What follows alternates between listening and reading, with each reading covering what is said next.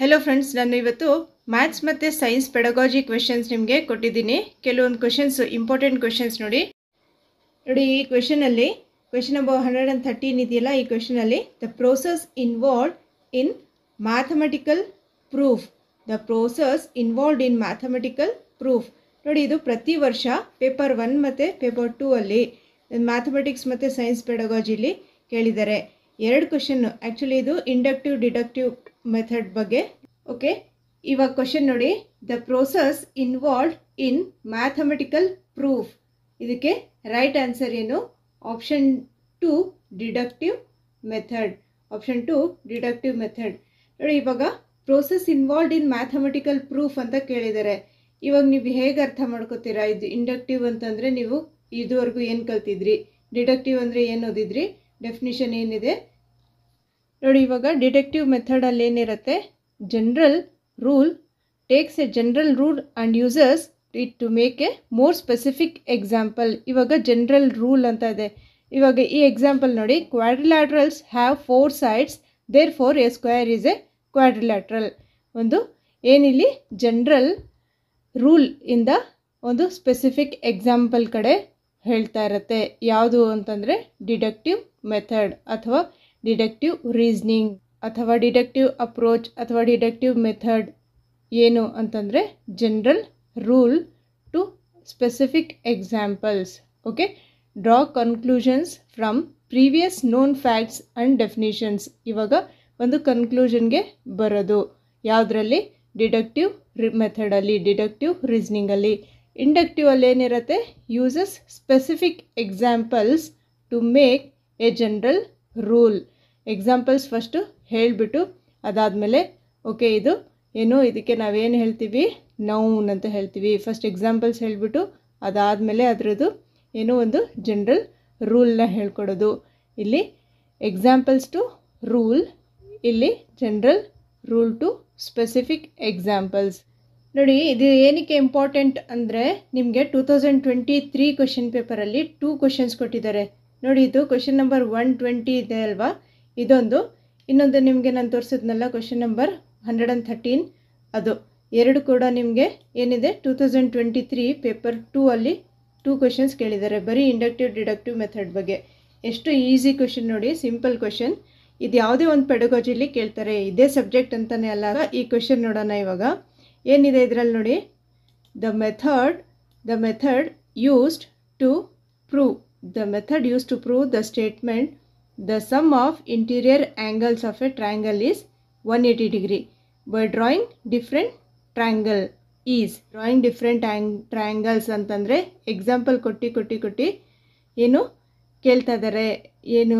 ಇದು the sum of interior angles of a triangle is one eighty degree ಅಂತಂದ್ಬಿಟ್ಟು ಬೇರೆ ಬೇರೆ ರೀತಿ ಎಕ್ಸಾಂಪಲ್ಸ್ ಕೊಟ್ಬಿಟ್ಟು ಅದನ್ನು ಪ್ರೂವ್ ದ ಸ್ಟೇಟ್ಮೆಂಟ್ ಅಂತ ಹೇಳ್ತಿದ್ದಾರೆ ಸೊ ಫಸ್ಟ್ ಎಕ್ಸಾಂಪಲ್ಸ್ ಕೊಟ್ಬಿಟ್ಟು ಆಮೇಲೆ to prove the statement example ಕೊಟ್ಬಿಟ್ಟು ಆಮೇಲೆ ಒಂದು ರೂಲ್ನ ಫೈಂಡ್ ಔಟ್ ಮಾಡ್ತಾ ಇದ್ದಾರೆ ಒಂದು ಸ್ಟೇಟ್ಮೆಂಟ್ನ ಪ್ರೂವ್ ಮಾಡ್ತಾ ಇದ್ದಾರೆ ಅದಕ್ಕೆ ನಾವು ಯಾವ ಮೆಥಡ್ ಅಂತ ಹೇಳ್ತೀವಿ? Option one inductive method inductive method okay inductive ಮೆಥಡಲ್ಲಿ ಏನಿದೆ?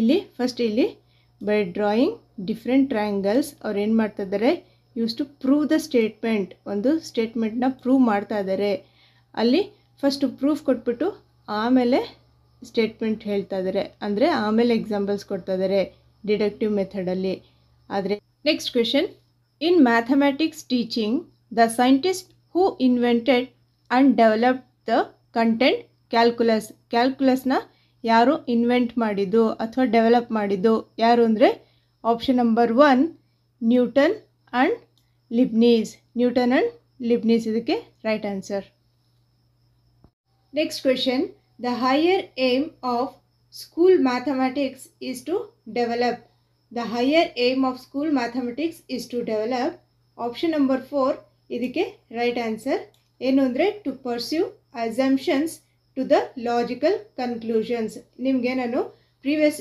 ವಿಡಿಯೋಸಲ್ಲಿ ಕೂಡ ಹೇಳ್ಕೊಟ್ಟಿದ್ದೀನಿ. The primary aim of teaching mathematics ಏನು ಅಂತಂದ್ಬಿಟ್ಟು ಹೇಳ್ಕೊಟ್ಟಿದ್ದೀನಿ. ಬಹಳಷ್ಟು ವೀಡಿಯೋಸಲ್ಲಿ ಹೇಳಿದ್ದೀನಿ ನಾನು mathematics ವೀಡಿಯೋಸಲ್ಲಿ primary aim of school teaching mathematics ಏನು ಅಂತಂದರೆ ಲಾಜಿಕಲ್ ಥಿಂಕಿಂಗ್ ಅಂತ ಹೇಳ್ಕೊಟ್ಟಿದ್ದೆ. ಲಾಜಿಕಲ್ ಥಿಂಕಿಂಗ್ ಒಂದು ಮೇನ್ ಏಮ್ ಉದ್ದೇಶ ಏನು ಒಂದು ಮ್ಯಾಥಮೆಟಿಕ್ಸ್ ಹೇಳ್ಕೊಡೋದು ಅಂತ ಅಂದರೆ ಟು ಡೆವಲಪ್ ಒಂದು ಮಕ್ಕಳಲ್ಲಿ to develop logical thinking in children okay to pursue assumptions to the logical conclusions ನೋಡಿ, ಇದರಲ್ಲಿ ಒಂದು ಈಸಿ ಆಗಿದೆ. ನ, ಮೂರು ಏನಿದೆ? ಮೂರು ಆಪ್ಷನ್ ಎಷ್ಟು ಒಂದು ಸಿಲ್ಲಿ ಆಗಿದೆ ನೋಡಿ. ಫಸ್ಟ್ ಆಪ್ಷನ್ ನೋಡಿ ನಂಬರ್ ಆಪರೇಷನ್ಸ್ ಕಲಿಸೋದಕ್ಕೋಸ್ಕರ ಅಂತ ಇದೆ. ಸೊ ಅದು ರಾಂಗ್ ಮೆಷರ್ ದ ಏರಿಯಾ ಇವಾಗ ಏರಿಯಾ ಮೆಷರ್ ಮಾಡಬೇಕು ಅಂತ ಅಂದ್ಬಿಟ್ಟು ನೀವು ಮ್ಯಾಥಮೆಟಿಕ್ಸ್ ಹೇಳ್ಕೊಡ್ತೀರಾ? ನೋ ಇದಕ್ಕೆ ಫೋರ್ತ್ ಆಪ್ಷನ್ ಕರೆಕ್ಟ್ ಆಯಿತು. To pursue assumptions to the logical conclusions next question the complex mental process of objective necessary for judging a material is ಇವಾಗ ನೋಡಿ ಇದು options understanding analysing applying evaluating ಇದೆಯಲ್ಲ? ಇದೇನು ಇದು ಅಂತಂದರೆ ಪ್ರತಿ ವರ್ಷ ನಿಮಗೆ ಬ್ಲೂಮ್ ಟ್ಯಾಕ್ಸನಮಿ ಬಗ್ಗೆ ಕೇಳ್ತಾ ಇದ್ದಾರೆ ಪ್ರತಿ ವರ್ಷ ನೀವೇನು ಮಾಡ್ತಾ ಇದ್ದೀರಾ? ಇದರಲ್ಲಿ ಕನ್ಫ್ಯೂಸ್ ಮಾಡ್ಕೋತಾ ಇದ್ದೀರಾ. ಏನಿರುತ್ತೆ ಅಂದರೆ ಫಸ್ಟ್ ನೀವು ಕ್ವಶನ್ ಅರ್ಥ ಮಾಡ್ಕೋಬೇಕು ಕ್ಲೀನಾಗಿ ನೀವು ಈ ಬ್ಲೂಮ್ಸ್ ಟ್ಯಾಕ್ಸೋನಮಿ ಓದಿಲ್ಲ ಅಂದರೆ ಇವಾಗ ನಾನು ಹೇಳ್ಕೊಡ್ತೀನಿ. ನೆಕ್ಸ್ಟ್ ಇದಾದಮೇಲೆ the complex mental process of objective necessary for judging ಇವಾಗ ಜಡ್ಜಿಂಗ್ ಇಲ್ಲಿ ಹಿಂಟ್ ನಿಮಗೆ ಜಡ್ಜ್ ಮಾಡ್ತೀರಾ? ಯಾವ ಇದರಲ್ಲಿ ಅಂತಂದರೆ ವ್ಯಾಲ್ಯೂಯೇಟ್ ಮಾಡಬೇಕಾದ್ರೆ ಇದಕ್ಕೆ ರೈಟ್ ಆನ್ಸರ್ ಏನಿದೆ? ಇವ್ಯಾಲ್ಯೂಯೇಟಿಂಗ್ ಇದಕ್ಕೆ ರೈಟ್ ಆನ್ಸರ್ ನೋಡಿ ಇವಾಗ ಇದರಲ್ಲಿ ಕ್ಲೀನಾಗಿ ನಿಮ್ಗೆ ಹೇಳ್ಕೊಡ್ತೀನಿ. ಇವ್ಯಾಲ್ಯೂಯೇಷನ್ ಅಂದ್ರೇನು? It is assignment of symbols to phenomenon ಇದೇನು? ಒಂದು ಯಾವುದೋ ಒಂದು ಫಿನಾಮಿನನ್ ಇರುತ್ತೆ. ಇದಕ್ಕೆ assignment it is assignment of symbols to phenomenon in order to characterise the worth or value of a phenomenon ಯಾವುದೋ ಒಂದು ನೀವು ಟಾಪಿಕ್ ತೊಗೊತೀರಾ, ಅದಕ್ಕೆ ನಾವು ಇವ್ಯಾಲ್ಯೂಯೇಟ್ ಮಾಡ್ತೀವಿ. ಏನಕ್ಕೆ? ನಾವು ಅಷ್ಟು ಕಷ್ಟಪಟ್ಟಿರೋದು ಅದು ವರ್ತ್ ಆಗಬೇಕು ಅಂತಂದ್ಬಿಟ್ಟು. Usually with reference to some social cultural or scientific standard evaluation involves judgement in terms of internal evidence as well as external criteria main ಇಲ್ಲೇನಿದೆ? Judgement ಮಾಡೋದು. ನೋಡಿ ಇವಾಗ ಏನಿತ್ತು ಇಲ್ಲಿ? ಕ್ವಶನಲ್ಲಿ ನಿಮಗೆ the complex mental process of objective necessary for judging a material ಇಲ್ಲಿ judge ಮಾಡ್ತಿರೋದು. Judging a material ಯಾವುದ್ರಲ್ಲಿ ಮಾಡ್ತೀರಾ ನೀವು? ಯಾವುದ್ರಲ್ಲಿ ಅಂತಂದರೆ ಇವ್ಯಾಲ್ಯೂಯೇಷನಲ್ಲಿ ಇವ್ಯಾಲ್ಯೂಯೇಷನಲ್ಲಿ ಏನು ಮಾಡ್ತೀರಾ ನೀವು? ಜಡ್ಜ್ ಮಾಡ್ತೀರಾ. ಒಂದು ಯಾವುದು? ಒಂದು ಪ್ರಾಜೆಕ್ಟ್ ಆಗಿರಲಿ, ಅಥವಾ ಒಂದು ವರ್ಕ್ ಯಾವುದೇ ಒಂದು ವರ್ಕ್ ಆಗಿರಲಿ, ಅದನ್ನು ಜಡ್ಜ್ ಮಾಡ್ತಿದ್ರಾ ಜಡ್ಜಿಂಗ್ ಎ ಮೆಟೀರಿಯಲ್ ಯಾವುದರಲ್ಲಿ? ಇವ್ಯಾಲ್ಯೂಯೇಷನಲ್ಲಿ ಇವ್ಯಾಲ್ಯೂಯೇಷನ್ ಅಥವಾ ಇವ್ಯಾಲ್ಯೂಯೇಟಿಂಗಲ್ಲಿ ನೋಡಿ, ಇವಾಗ ಬ್ಲೂಮ್ಸ್ ಟ್ಯಾಕ್ಸೋನಮಿಯಲ್ಲಿ ನಿಮಗೆ ಮೂರು ಇರುತ್ತೆ. ಯಾವುದು ಅಂದರೆ ಕಾಗ್ನಿಟಿವ್ ಡೊಮೈನ್ ಅಫೆಕ್ಟಿವ್ ಡೊಮೈನ್ ಮತ್ತು ಸೈಕೋಮೋಟರ್ ಡೊಮೈನ್ ಇವಾಗ ನಿಮಗೆ ಇವಾಗ ಆ್ಯಕ್ಚುಲಿ ಕ್ವೆಶನ್ ಪೇಪರ್ಸಲ್ಲಿ ಕೇಳ್ತಾ ಇರೋದೊಂದು ಯಾವುದ್ರ ಬಗ್ಗೆ ಅಂತಂದರೆ ಕಾಗ್ನಿಟಿವ್ ಡೊಮೈನ್ ಬಗ್ಗೆ. ಅಫೆಕ್ಟಿವ್ ಮತ್ತು ಸೈಕೋಮೋಟರ್ ಡೊಮೈನ್ ಬಗ್ಗೆ ನಿಮಗೆ ಟಿ ಟಿ ಕ್ವೆಶನ್ ಪೇಪರ್ಸಲ್ಲಿ ಕೇಳೋದಿಲ್ಲ. ಸೊ ಕಾಗ್ನಿಟಿವ್ ಡೊಮೈನಲ್ಲಿ ಏನಿದೆ? ಫರ್ದರ್ ಡಿವೈಡ್ ಆಗಿದೆ. ಏನೇನು ಅಂತಂದರೆ ಇವಾಗ knowledge comprehension application analysis synthesis ಮತ್ತು ಇವ್ಯಾಲ್ಯೂಯೇಷನ್ ನೀವು ಇದನ್ನು ಆರ್ಡ್ರಲ್ಲೇ ನೆನಪಿಗಿಟ್ಕೋಬೇಕು. ಏನಕ್ಕೆ ಅಂದರೆ ನಿಮಗೆ ಆರ್ಡ್ರಲ್ಲಿ ಒಂದ್ಸರಿ ಒಂದು ನಾಲ್ಕು ಆಪ್ಷನಲ್ಲಿ ಕೊಟ್ಬಿಟ್ಟು ಆರ್ಡ್ರಲ್ಲಿ ಕೇಳ್ತಾರೆ. ಮೇಲೆ ಕೆಳಗಡೆ ಮಾಡಿಬಿಟ್ಟು ಒಂದು ಆರ್ಡ್ರಲ್ಲಿ ಕೇಳಿರ್ತಾರೆ. ಒಂದು ಪ್ರೀವಿಯಸ್ ಇಯರ್ ಕ್ವೆಶನ್ ಪೇಪರಲ್ಲೇ ಆ ರೀತಿ ಕೇಳಿದರು. ಸೊ ಆರ್ಡ್ರಲ್ಲೇ ಗೊತ್ತಿರಲಿ ನಿಮಗೆ. Isaac E S A A C K ಈ ಆರ್ಡ್ರ್ ನಿಮಗೆ ನೆನಪಿಟ್ಕೊಳ್ಳಿ ಇದೊಂದು ಟ್ರಿಕ್ ನಿಮಗೆ ನಾನು ಹೇಳ್ಕೊಟ್ಟಿರೋದಷ್ಟೇ. E S A A C K ಈ ಥರ ನೆನಪಿಗಿಟ್ಕೊಂಡ್ರೆ ಈ ಟ್ರಿಕ್ಕಿಂದ ನಿಮಗೆ ನೆನಪಿಗಿರುತ್ತೆ. ಇ ಇಂದ ಇವ್ಯಾಲ್ಯೂಷನ್ ಎಸ್ ಇಂದ ಸಿಂಥಸಿಸ್ ಇ ಇಂದ ಇವ್ಯಾಲ್ಯೂಷನ್ ಎಸ್ ಇಂದ ಸಿಂಥಸಿಸ್ ನೆಕ್ಸ್ಟ್ ಅದಾದಮೇಲೆ ಎ ಇಂದ ಅನಾಲಿಸಿಸ್ ನೆಕ್ಸ್ಟ್ ಇನ್ನೊಂದು ಎ ಇಂದ ಏನಿರುತ್ತೆ? ಅಪ್ಲಿಕೇಶನ್ ಇನ್ನೊಂದು ಸಿ ಇಂದ ಕಾಂಪ್ರಿಹೆನ್ಷನ್ ಅದಾದಮೇಲೆ ಇನ್ನೊಂದು ಕೆ ಇಂದ knowledge Isaac E S double A C K ಇದರಲ್ಲಿ ಲೆಫ್ಟ್ ಸೈಡ್ ಕಾಣಿಸ್ತಿದೆಯಲ್ಲ, ಇದು ನಿಮಗೆ ಒರಿಜಿನಲ್ ಬ್ಲೂಮ್ಸ್ ಟ್ಯಾಕ್ಸನಮಿ ಇದಕ್ಕೆ ರಿಲೇಟೆಡ್ ನಿಮಗೆ ಕ್ವೆಶನ್ಸ್ ಕೇಳ್ತಿರೋದು. ಆದರೆ ರಿವೈಸ್ ಬ್ಲೂಮ್ಸ್ ಟ್ಯಾಕ್ಸನಮಿ ಬಗ್ಗೆ ನಿಮಗೆ ಕ್ವೆಶನ್ಸ್ ಕೇಳಲ್ಲ. ಇದ್ರ ಬಗ್ಗೆ ಗೊತ್ತಿದ್ರೆ ಸಾಕು ನಿಮಗೆ ಒರಿಜಿನಲ್ ಬ್ಲೂಮ್ಸ್ ಟ್ಯಾಕ್ಸನಮಿ ಬಗ್ಗೆ. ಓಕೆ ನೋಡಿ, ಈ ಸ್ಲೈಡಲ್ಲಿ ನೀವು ನೋಡ್ಬೋದು ಇವ್ಯಾಲ್ಯೂಯೇಟಿಂಗಲ್ಲಿ ಏನಿದೆ? ಕ್ರಿಟಿಕಲಿ ಎಕ್ಸಾಮಿನ್ ಇನ್ಫೋ ಅಥವಾ information and make judgments judge ಮಾಡೋದು ಅಥವಾ ಕ್ರಿಟಿಕ್ ಮಾಡೋದು ಟೆಸ್ಟ್ ಮಾಡೋದು ಕ್ರಿಟಿಸೈಸ್ ಮಾಡೋದು ಇದು. ಇದೆಲ್ಲ ಯಾವುದ್ರಲ್ಲಿ ಬರುತ್ತೆ? ಇವ್ಯಾಲ್ಯೂಯೇಟಿಂಗಲ್ಲಿ ಬರುತ್ತೆ. ಓಕೆ ಇವ್ಯಾಲ್ಯೂಯೇಟಿಂಗ್ ರಿಲೇಟೆಡ್ ಕ್ವೆಶನ್ ಕೇಳಿದಾಗ ನೀವು ಈಸಿಯಾಗಿ ಬರೆದು ಬಿಡ್ತೀರಾ ನೆಕ್ಸ್ಟ್ ಅಪ್ಲೈಯಿಂಗಲ್ಲಿ ಏನು ಮಾಡ್ತೀರಾ? ನೀವು ಅಪ್ಲೈ ಮಾಡ್ತೀರಾ? ಯೂಸ್ ಮಾಡ್ತೀರಾ? ಅಥವಾ ಅಪ್ಲೈ ಮಾಡ್ತೀರಾ? Use info in a new ಅಥವಾ bit similar form in a new form ಅಥವಾ in a similar form use ಮಾಡೋದು ಅಥವಾ ಡಯಾಗ್ರಾಮ್ ಅಪ್ಲೈ ಮಾಡೋದು, ಏನು? ಡಯಾಗ್ರಾಮ್ ಆಗಿರಲಿ ಅಥವಾ ಮೇಕಿಂಗ್ ಎ ಚಾರ್ಟ್ ಆಗಿರಲಿ ಡ್ರಾ ಮಾಡೋದು ಡ್ರಾಯಿಂಗ್ ಕಲ್ತಿರ್ತೀರಾ, ಅದನ್ನು ಡ್ರಾ ಮಾಡ್ತೀರಾ, ಅಥವಾ ಅಪ್ಲೈ ಮಾಡ್ತೀರಾ, ಈ ವರ್ಡ್ಸ್ ಇರುತ್ತೆ ಅಪ್ಲೈ ಅಥವಾ ಯೂಸ್ ಅಥವಾ ಸಾಲ್ವ್ ಅಥವಾ ಕ್ಯಾಲ್ಕುಲೇಟ್ ಮಾಡ್ತೀರಾ, ಇದೆಲ್ಲ ಈ ವರ್ಡ್ಸ್ ನೆನಪಿಗಿರಲಿ ನಿಮಗೆ ಸಾಲ್ವ್ ಮಾಡ್ತೀರಾ ಅಥವಾ ಯೂಸ್ ಮಾಡ್ತೀರಾ. ಓಕೆ ಒಂದು ಕ್ವೆಶನ್ ನೋಡ್ಕೊಡ್ತೀನಿ, ಇದಕ್ಕೆ ರಿಲೇಟೆಡ್ ನೋಡಿ ಇವಾಗ ಅರ್ಥ ಆಗುತ್ತೆ. ನೋಡಿ ಇದು question number one forty nine ಇದೆಯಲ್ಲ ಇದು. ನಿಮಗೆ two thousand twenty three question ಪೇಪರಲ್ಲಿ ಕೇಳಿದರು.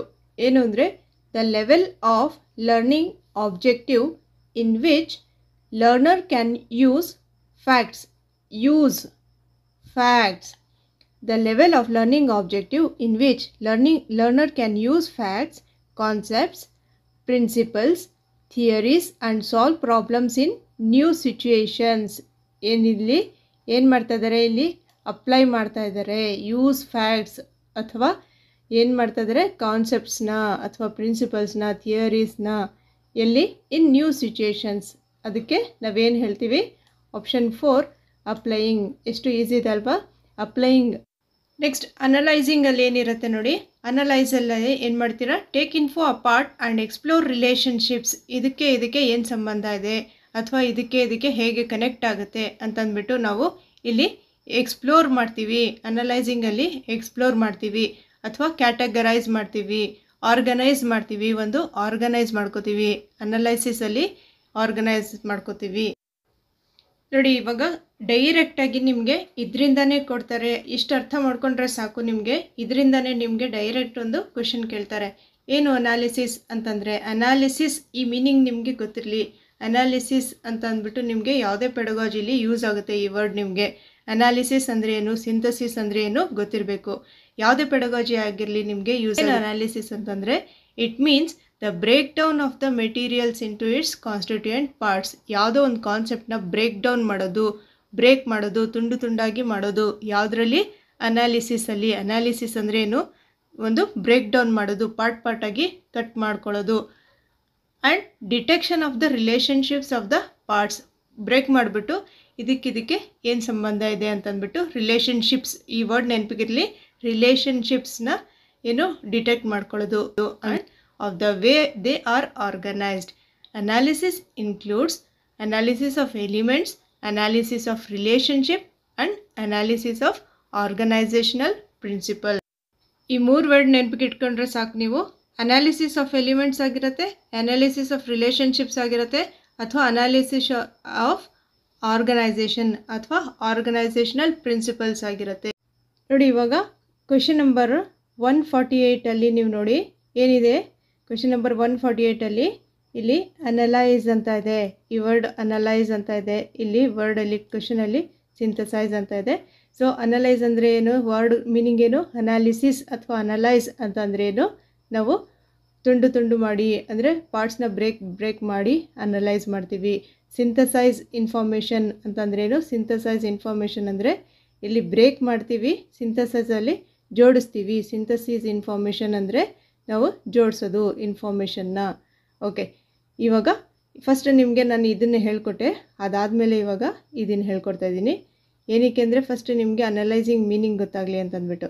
ಓಕೆ ಇವಾಗ the attribute in which learners recognise patterns and context of learning context ಅಂತಂದರೆ ಸಂದರ್ಭದಲ್ಲಿ. Context of learning apply reasoning to analyse and synthesize information judges the accuracy of data justify the conclusions ಇದು ಯಾರು ಮಾಡೋದು? ಅಂದರೆ ಒಂದು attribute of learner ಇರುತ್ತೆ. ಏನು attribute ಇರುತ್ತೆ? ಲರ್ನರಲ್ಲಿ ಒಂದು ಪ್ಯಾಟ್ರನ್ಸ್ನ ರೆಕಗ್ನೈಸ್ ಮಾಡ್ತಾರೆ, ಮತ್ತು ಆ ಸಿಚುಯೇಷನ್ ತಕ್ಕಾಗಿ ಅಪ್ಲೈ ಮಾಡ್ತಾರೆ, ಆ ಮಕ್ಕಳು ಮತ್ತು ರೀಸ್ನಿಂಗ್ ಮಾಡ್ತಾರೆ. ರೀಸ್ನಿಂಗ್ ಟು ಅನಲೈಸ್ ಅನಲೈಸ್ ಮಾಡೋದಕ್ಕೋಸ್ಕರ ಒಂದು ರೀಸ್ನಿಂಗ್ ಮಾಡ್ತಾರೆ. ಮತ್ತು ಸಿಂಥಸೈಸ್ ಮಾಡ್ತಾರೆ ಇನ್ಫಾರ್ಮೇಷನ್ನ ಜಡ್ಜ್ ಮಾಡ್ತಾರೆ. ಏನು ಜಡ್ಜ್ ಮಾಡ್ತಾರೆ? ಡೇಟಾ ಕರೆಕ್ಟಾಗಿದೆಯೋ ಇಲ್ವೋ ಅಕ್ಯುರೇಟ್ ಆಗಿದೆಯೋ ಇಲ್ವೋ ಅಂತ ಜಡ್ಜ್ ಮಾಡ್ತಾರೆ. ಅಥವಾ ಜಸ್ಟಿಫೈ ದ ಕನ್ಕ್ಲೂಷನ್ ಈ ರೀತಿ ಒಂದು ಇರ್ತಾರಲ್ಲ, ಅವ್ರಿಗೆ ನಾವೇನು ಹೇಳ್ತೀವಿ? First option deep understanding second creativity third critical thinking fourth inquiring attitude guess ಮಾಡಿ ಇದಕ್ಕೆ ಆನ್ಸರ್ನ ಕೆಲವರು ಕ್ರಿಯೇಟಿವಿಟಿ ಅಂತಂದ್ಬಿಟ್ಟು ಥಿಂಕ್ ಮಾಡಿದ್ದೀರಾ ಅನಿಸುತ್ತೆ. ಇದಕ್ಕೆ ರೈಟ್ ಆನ್ಸರ್ ಏನಿದೆ?